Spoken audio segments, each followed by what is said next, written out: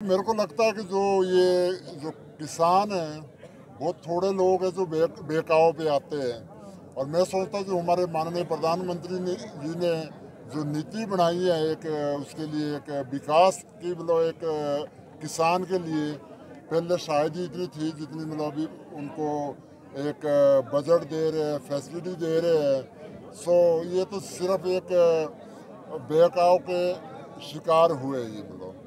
ये जो अखाड़े हैं।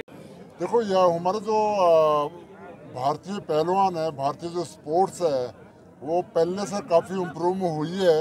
मैंने ये नहीं मैं बोलूँगा कि अभी बहुत सारी अभी और भी आगे इम्प्रूवमेंट होने की ज़रूरत है लेकिन पहले से बहुत इम्प्रूवमेंट हुई है और जो सरकार है पूरी सपोर्ट कर रही है उनकी।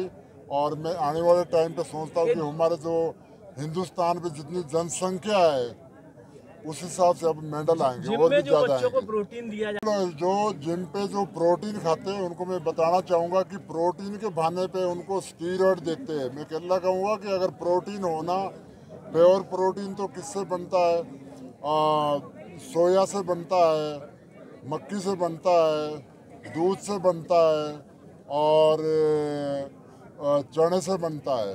और लेकिन उसके आड़ पे वो क्या करते हैं कि उस पर स्टीरोड मिलाते हैं, जिससे मतलब उनको मतलब नुकसान होता है, हार्ट अटैक होते हैं और फिर प्रोटीन बदनाम होता है।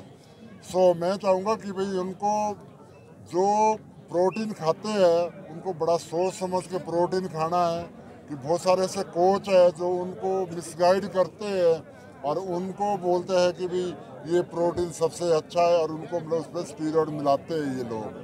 सो so, बहुत ध्यान से मतलब स्टीरोड को हमसे जुड़े रहने के लिए हमारे YouTube चैनल को सब्सक्राइब करें और नई वीडियो की नोटिफिकेशन के लिए बेल आइकॉन को दबाएँ।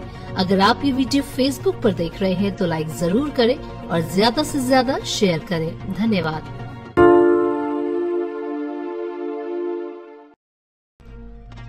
हमसे जुड़े रहने के लिए हमारे YouTube चैनल को सब्सक्राइब करें और नए वीडियो की नोटिफिकेशन के लिए बेल आइकन को दबाएँ।